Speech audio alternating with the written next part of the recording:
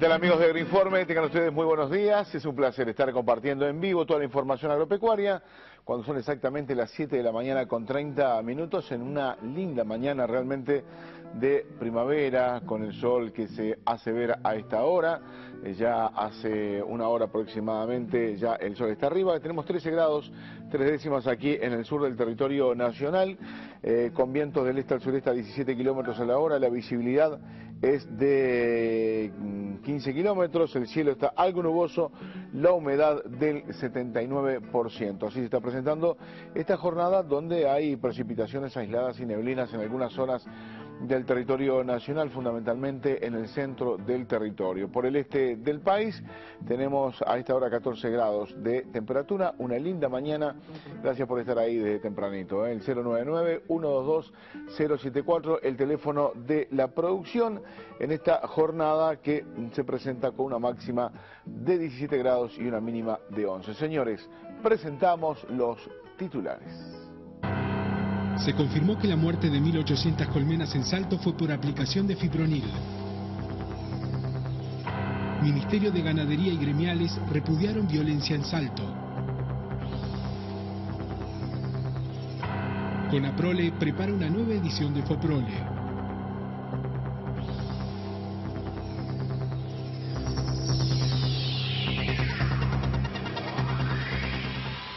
Son las 7 de la mañana con 32 minutos. Comenzamos el desarrollo de la información agropecuaria. En este jueves les contamos que hubo conferencia de prensa ayer en la sala suite del Ministerio de Ganadería, Agricultura y Pesca para analizar la situación de la mortandad de abejas ocurrida en Salto, tema que ocupó todos los titulares de los principales eh, medios de comunicación de nuestro país. Esta situación preocupa y mucho. De hecho, el Ministerio de Ganadería, Agricultura y Pesca realizó una investigación al respecto y confirmó que la mortandad de abejas ocurrida hace un mes en el departamento de Salto fue provocada por el insecticida fipronil, eh, cuya comercialización y uso está prohibido desde el año 2009. Ahora continúa la investigación para determinar el origen de la contaminación, habiéndose descartado una presunción inicial a no encontrarse rastros del mismo en las plantaciones citrícolas de la zona, como se sospechó en un principio eh, y era un error realmente. Vamos a hablar con el ingeniero Federico Montes al respecto. No es una mortandad menor, estamos hablando de por encima de las, casi las 1.800 colmenas, eso es un volumen muy importante y realmente eso provoca una, este, perjuicios importantes en los apicultores y bueno, y todo lo que trae la temática agroquímicos en sí. Entonces, eh, nosotros hicimos una, una serie de muestras, tanto a nivel de de las abejas, posteriormente en algunos brotes, en brotes de, en hojas de, mandarinas de exportación. Y, bueno, partimos de la base de la denuncia que nos habían hecho los apicultores, este, de que en, la, en una plantación citrícola habían estado utilizando un producto llamado clorpirifos, es un producto este, que sí es, tóxico para la abeja y que ese era el producto por el cual eh, se les habían muerto las colmenas, todas las abejas. Eh, también eso fue confirmado por la empresa citrícola de que ese producto era el que había utilizado, efectivamente había utilizado con un fin de, este, insecticida para eh, unos trips. Eh, nosotros partimos de esa base cuando hacemos las muestras de las 15 muestras que sacamos de diferentes apiarios que van desde, desde la zona de Parada Imán hasta Itapeví. Lo que encontramos fue una sola muestra de abejas con clorpirifos a un nivel de concentración este, bajo, porque bajo quiere decir que aparecía 20 veces por debajo de lo que era eh, la dosis letal media de contacto y 100 veces inferior a la dosis letal media oral, y comenzamos ahí a sospechar de que eso eh, no, no podía ser el problema. Entonces, en ese momento lo que decidimos fue hacerle muestras de, eh, hicimos dos, dos productos más, diacinón y dimetoato, son dos insecticidas para trips también, y también hicimos fipronil en abejas. Eh, de todo lo que hicimos, lo que es contundente y concluyente, que en el 93% de las muestras, o sea, en 14 de las 15 muestras, aparece una presencia importante de fipronil. O sea, con una concentración, yo diría, bastante elevada, lo suficiente para que cause el daño de que estamos hablando de las 1.800 colmenas.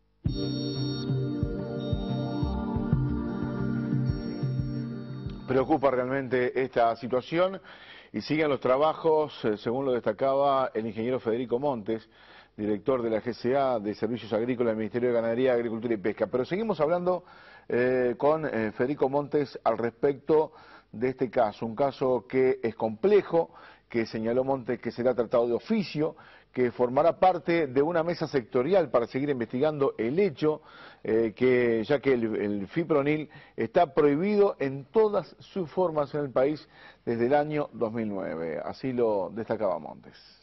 Lo que hicimos fue ver en la parte citrícola, en, en, el follaje, en las hojas, en los brotes, si había presencia o no de fipronil. También corrimos la matriz de los cuatro principios activos hicimos fipronil, clorpirifos, dimetoato y diacinón. De todo eso encontramos clorpirifos, como habían dicho que habían aplicado, y encontramos dimetoato también en una plantación, que ese también es un producto para TRIPS. Pero lo que nunca encontramos fue fipronil.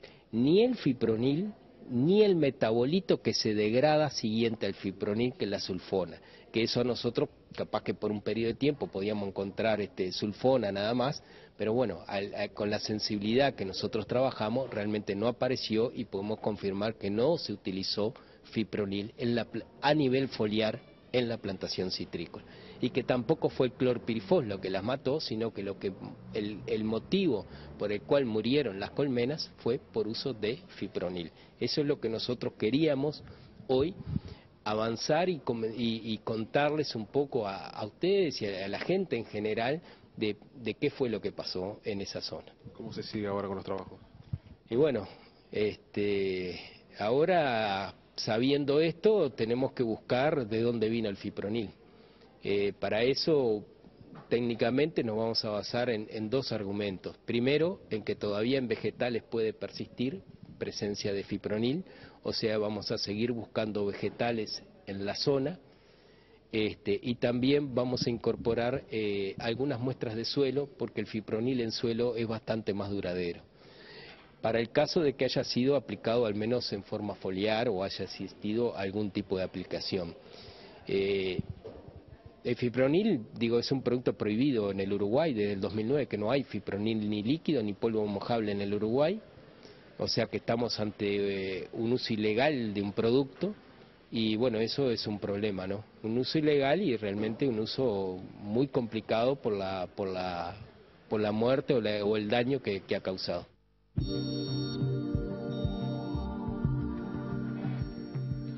La verdad que muy claro el ingeniero Montes al respecto y también enfrentando esta situación eh, bastante preocupante para los eh, productores apícolas del litoral norte del país.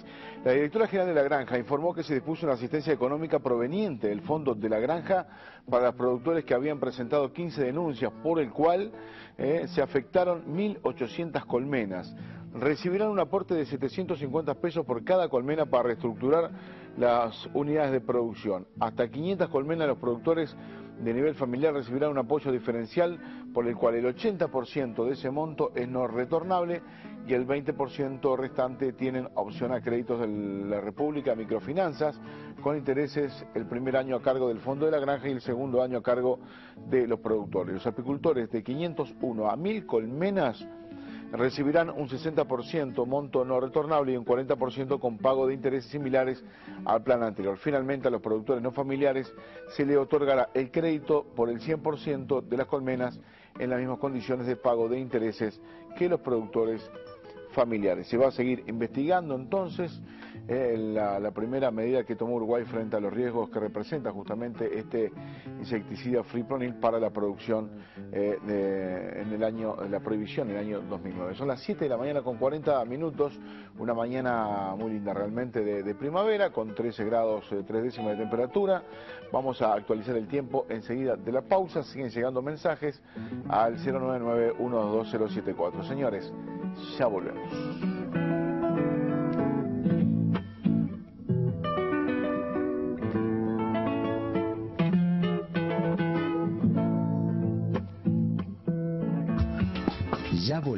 Con Agroinforme. Una mañana se nos ocurrió hacer un cambio, poner al aire un programa con más horas, más temas, más caras y muchas, muchas ganas. Cambiando el aire. Estreno lunes 9 de octubre a las 8. Casi todo lo resuelvo con unigota. En segundos pegan porcelana, plástico, vidrio, madera y muchas cosas más. Una gota de unigota y todo arreglado. Desde que descubrí unigota, ya no quiero usar otra cosa. Unigota, de la línea de adhesivos Unisil. Calidad bien firme. FAO, un mundo de opciones. Un mundo útil. Útil para pasear. Útil para trabajar. Útil para crecer. Útil por donde lo mires. Importa y respalda. Kaitasoft Motors. Más de 50 años manejando confianza.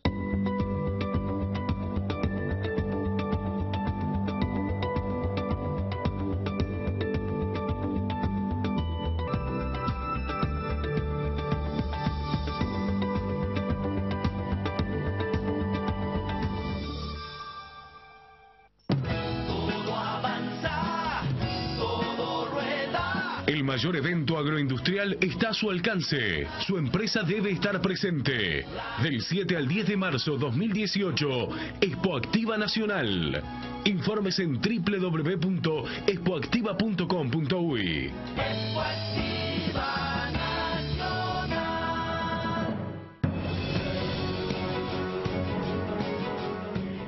Quienes trabajamos en las radios del Estado, en Radiodifusión Nacional, lo hacemos con orgullo, con orgullo de saber que somos libres, que todas las voces pueden ser escuchadas, de saber que hacemos nuestro trabajo con profesionalidad, dirigido a ustedes, que son los dueños, los destinatarios de las noticias, de la información, de la cultura, de todos los colores de la diversidad, de todas las voces, de eso que nos hace ser lo que somos, uruguayos. Estamos contigo, estés donde estés.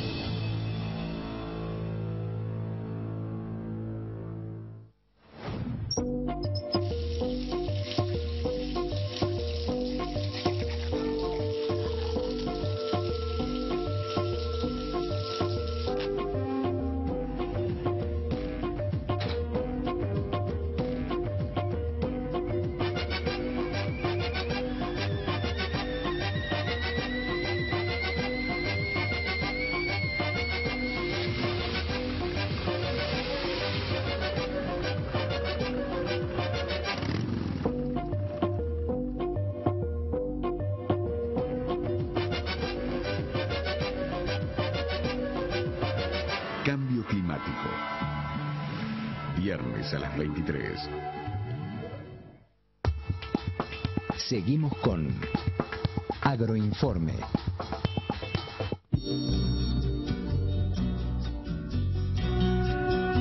Estaba hablando con, con Mario de Malvin, este, gracias por eh, esta llamada también. Eh, nos estaba contando si había oído alguna vez de la séptima luna de, de septiembre. Bueno, vamos a seguramente a tener más información de Mario. Dice que ni, ni, una cosa ni la otra, va a ser bastante inestable porque llovió y no llovió, de mañana hubo lluvia, de tarde no, así que vamos a tener siete meses de inestabilidad con el tiempo. Seguramente nuestro compañero Nubel Cisnero va a hablar algo más del tema, le vamos a preguntar. Son las 7.44, ¿eh? Gracias Mario, ¿eh? hombre que estuvo por allá por la granja, por Juanico, hace algunos años y ahora está ¿eh? Eh, arreglando jardines por Malvin. Más que linda primavera. Señores, ahí vemos justamente lo que es el oeste de Montevideo, ¿no? Vemos eh, desde Antelvera esta lindísima imagen de este jueves, que vamos a tener una máxima de 17 y una mínima de 11 por aquí por el sur, algo similar en el este del territorio nacional. Vamos a estar partiendo en algunos minutos nada más hacia el este de, del país y vamos a, disfrutar seguramente de lo que va a ser esta linda jornada. Un viernes eh, con 19 de máxima, 10 de mínima, así se está presentando, nuboso y cubierto. Vamos a tener un sábado con algo de sol, cubierto a nuboso y probables precipitaciones en la mañana y nuboso periodos de cubierto y baja probabilidad de precipitaciones en la tarde. Para el sábado la máxima será de 20 y hoy también será 20 la máxima en el norte. Vamos a disfrutar algo de música en esta mañanita. ¿eh? No hay flores en la ribera, solo peces muertos hay. Qué molleja primo tan cristalino que estaba al agua El agradecimiento a María de Paso Antolín que envía fotos, eh, está concentrado mirando el programa. Eh, allí vemos la foto que, nos envían. En Antolín está espectacular la jornada. Eh. Muchas gracias por estos mensajes que llegan de diferentes zonas del territorio nacional. Buen día, es la primera vez que veo el programa. Soy paisano, me encantó, felicitaciones. Y adelante, eh, dice Guido Fontes de Soriano, ahora en Maldonado. Gracias Guido este, por este mensaje. También Luis y René de Bella Unión, el agradecimiento también por este mensaje, muy buenos días, gracias por su buena onda y por su programa, dice Margot y familia. Gracias Margot, ¿de dónde me estás escribiendo? De La Teja, ¿eh? bueno, muchas gracias Margot ¿eh? por estos mensaje. Hoy les recomiendo lo que va a ser Pitufo Lombardo a partir de las 8 de la noche en el mercado agrícola de Montevideo. Ya nos tiene acostumbrado el MAM a este tipo de espectáculos. Es este autor uruguayo de cuna carnavalera y vitlera con canciones propias y ajenas sobre la delgada fina que definen sutiles momentos musicales. ¿eh? Así que vamos a tener eso y mañana eh, a las 19.30 lo que va a ser la milonga avalanchera, ya un clásico del mercado agrícola de Montevideo. Muchísima gente eh, se, se reúnen para en definitiva, los viejos bailes de antaño, ¿no? Aquellos que los hombres caminan, invitan a alguien a bailar tango, ¿eh? a practicar un poco de tango, a bailar, este, realmente un disfrute de este clásico de, tango para todos. En Milonga Balanchera, mañana a 19.30 y hoy a las 20 horas. El saludo a, a María Elisa y a Paula también que están siguiendo el programa desde el este del territorio nacional. Tempranito siguiendo entonces este, este, programa. Vamos a, hablar de otros temas que han preocupado y mucho y que han sido noticias, eh, lamentables noticias en las últimas horas en el sector agropecuario o en, la sociedad toda, en definitiva. El subsecretario del Ministerio de Ganadería, Agricultura y Pesca, el ingeniero Enzo Benech, sostuvo que es lamentable la supuesta agresión al trabajador rural en el departamento de Salto y que se está investigando por parte de la justicia. Lamentable que eh, nos estén pasando estas cosas. Este, yo conozco estas noticias, tengo alguna versión. Obviamente nos preocupa mucho. Pensábamos que en este periodo de gobierno se había avanzado en, los temas de los derechos de los trabajadores, ¿verdad? Este, hay consejos de salario funcionario, de funcionando, permanentemente estamos conversando de este tema y bueno, eh, la verdad, con hechos como este es como que eh, volvemos muchas casillas atrás. ¿Es un hecho aislado? Yo espero que sí, espero que sí, que sea este un hecho aislado, espero que se aclare, espero que, se asuman las responsabilidades y la verdad este, nos preocupa mucho eh, y no nos gustan estas situaciones, por supuesto.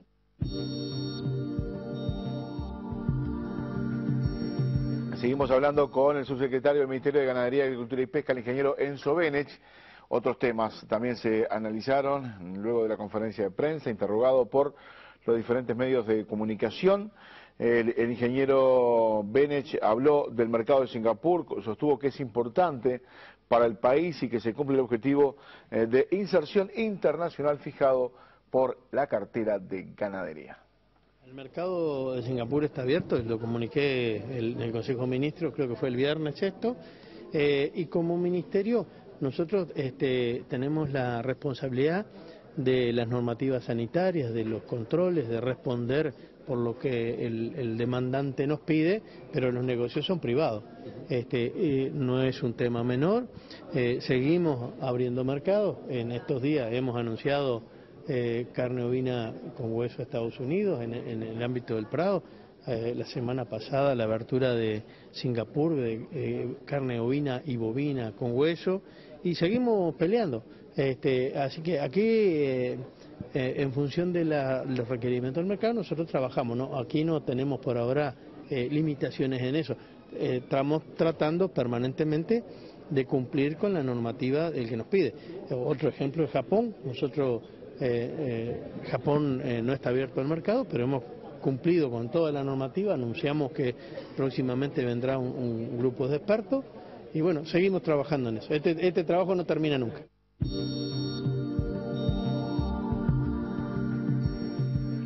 Bien, eh, es uno de los principales objetivos que ha encarado de los tantos ¿no? que ha encarado el Ministerio de Ganadería, Agricultura y Pesca la apertura de mercados exigentes, de mayor valor agregado, se abrió Singapur, se abrió Estados Unidos para carne ovina con hueso, de Singapur para carne ovina y bovina con hueso, se está trabajando mucho en Japón, viene esta misión aquí a nuestro país, este, es muy importante eh, lo que se está dando en este sentido. A los hermanos Ruchey de Salto, de la zona de Itapeví, el, agradecimiento eh, por estos mensajes que llegan, me dicen que llovió 45 milímetros ayer en esa zona y que hoy amaneció con sol por suerte. Un saludo muy especial a nuestro amigo Hugo Santos también de la zona del Prado que está siguiendo como cada mañana el programa, muy fiel de hecho cada mañana siguiendo estas instancias del programa.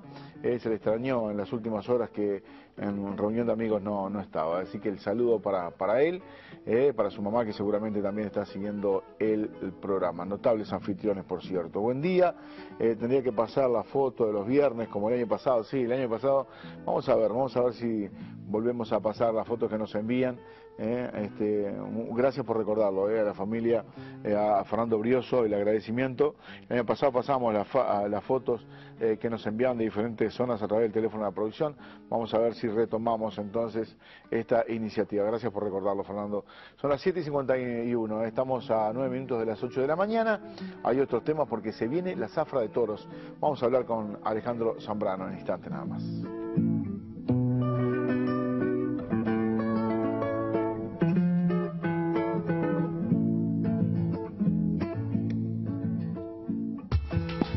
Ya volvemos con Agroinforme.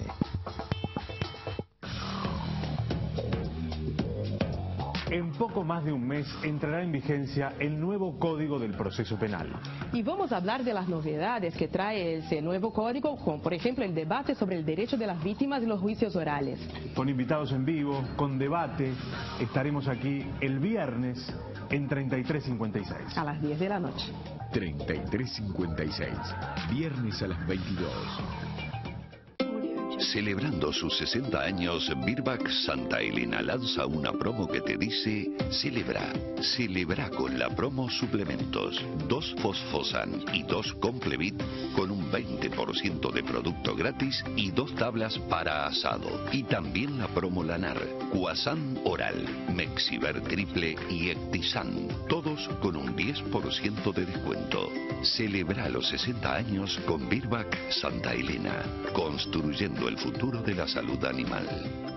Sábado 30 de septiembre, extraordinario remate de maquinarias en la Rural de Dolores. Escritorio Pajés Mañay rematará a partir de la hora 10. Recuerde, sábado 30 de septiembre, extraordinario remate de maquinarias en la Rural de Dolores. Atención, orden de ventas, vea catálogos. Remata Escritorio Pajes Mañay. Nombre es Ignacio Victorica y quiero agradecer a todos los que confiaron en nosotros durante estos 130 años. El compromiso es seguir adelante con los principios de nuestros fundadores, mantener la seriedad, la confianza y la responsabilidad que nos caracteriza. En nombre de Victorica y Asociados, muchas gracias.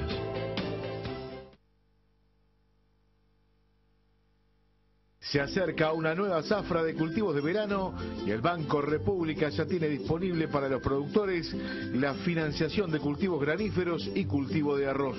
Por más información visite nuestra página web www.brow.com.uy o consulte con los ejecutivos de negocios de la dependencia más cercana a su establecimiento.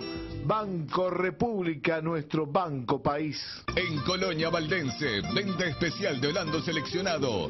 29, hora 12, local Amistad y Tradición. Ruta 1, kilómetro 123. Rematan Escritorio Surchitano y Soria. ¿Por qué la noche es tan larga? No veía la hora de volver. Estaba desesperada. Desesperada por volver. Solo una sombra que da son las madrugadas rayo de luz. Y yo me acuerdo, yo me acuerdo en el momento en que yo le hice el cassette, las, elegir las canciones para que Mercedes me escuchara. Tu momento casi te diría de, de libertad. Mercedes Sosa, la voz de Latinoamérica, domingo a las 12.30. Seguimos con Agroinforme.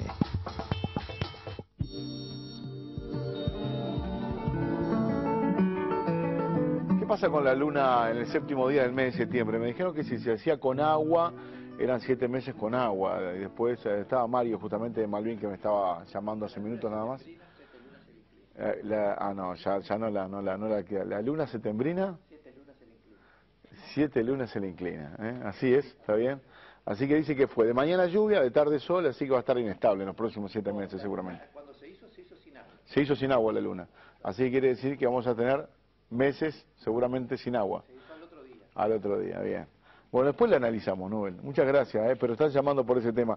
Mañana dará inicio la zafra de toros con la venta de Brangus, de El Coraje, de Bobe Insaina. Esta actividad contará con el martillo de la firma Zambrano y compañía. Alejandro Zambrano nos amplía semana este, arrancando lo que es la actividad de la Zafra con eventos muy lindos, ¿no? Como sin ninguna duda es el comienzo de la misma para nosotros, con esa actividad de, que organiza siempre al detalle la familia Bobitzaina, los muchachos del Coraje, ahí en un local muy bien armado en su propio establecimiento, cerquita de la, colonia Roseli Ríos, cerquita también no cerca de San Diego, con una muy buena oferta de toros, casi 50 toros Brangus y una muy buena oferta de vientres, sobre todo vientres elite, un catálogo muy logrado, que el que no lo tenga lo puede ver en nuestra página web o en la página web del Coraje, muy bien cuidado, muy al detalle, con explicaciones no solamente de la oferta, sino también de la forma como trabaja la cabaña y cuál es su objetivo productivo, que creo que también es lo que en definitiva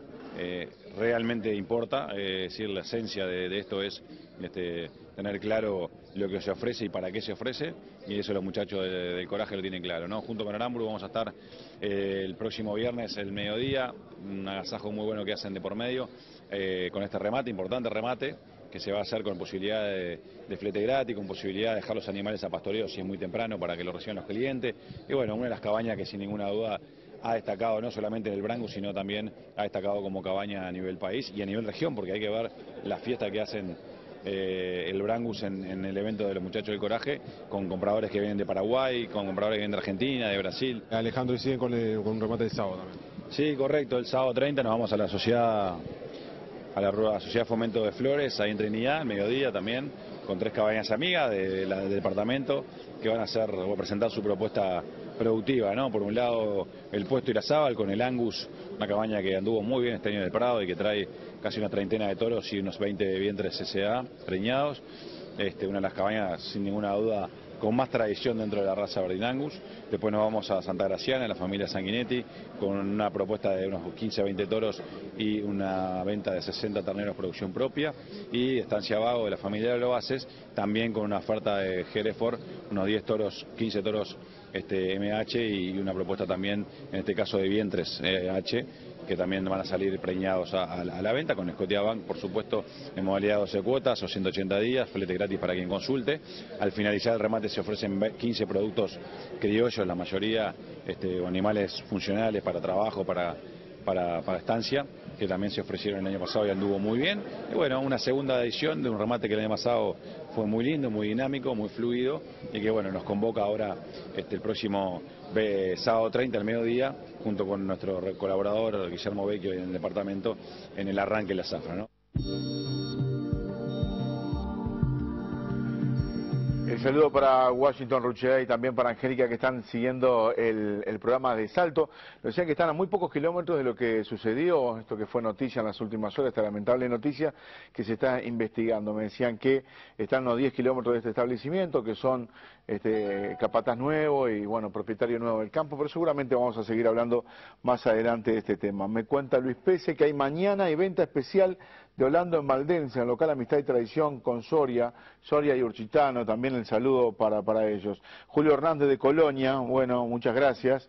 Eh, dice, mi señora, ¿cómo se hace la luna octubre? Con agua tenemos verano con lluvia. Pero dice que se hizo, me dice Nube que se hizo sin lluvia. Eh, bueno, muchas gracias. eh. Hay muchos eh, mensajes, son exactamente las 8 de la mañana. El saludo para, para Paula y Elisa nuevamente, que están en Punta del Este, como siempre, desde tempranito siguiendo las instancias de Agroinforma. Vamos a estar por ahí en aproximadamente una hora y media. Que pasen muy bien. Hasta mañana.